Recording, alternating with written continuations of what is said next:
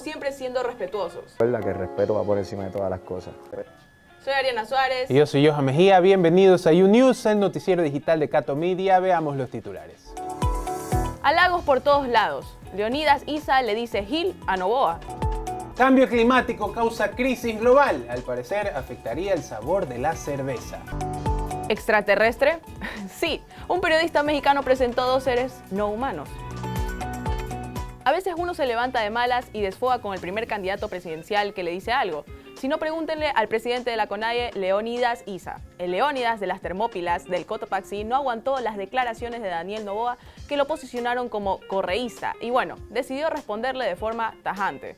Yo creo que el señor Novoa sí es un gil. Tres letras, una vocal y entre dos consonantes, una sílaba. Qué bello insulto que es la palabra gil. Y hay una alerta mundial por el cambio climático, y no me refiero a que ya estemos viviendo las consecuencias del mismo a través de los desastres naturales e inundaciones intensas en ambos hemisferios, sino que se ha revelado algo peor.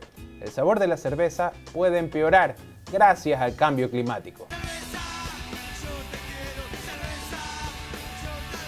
Pero tranquilos, esto solo está afectando la producción de lúpulo en Europa, en particular con la Spalter que se cultiva en Alemania. Así que tranqui, esa que consume sentado sobre una chancleta está a salvo por ahora.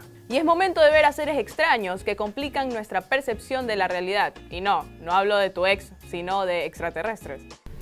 Son seres no humanos sepultados en minas de diatomea un periodista mexicano presentó los presuntos cuerpos de dos seres no humanos disecados en la Cámara de Diputados de la Tierra del Tex-Mex. Señores, han llegado. Queremos decirles a los aliens que queda a su disposición el estudio de UNews por si quieren dar un mensaje o tener un programa. Y eso es todo lo que tenemos para ustedes. Suscríbanse, den like y comenten este video, así como compartan e interactúen con todo el contenido de Cato Media en todas nuestras redes sociales. Y siempre valoren al amigo que está contigo en las buenas y en las malas.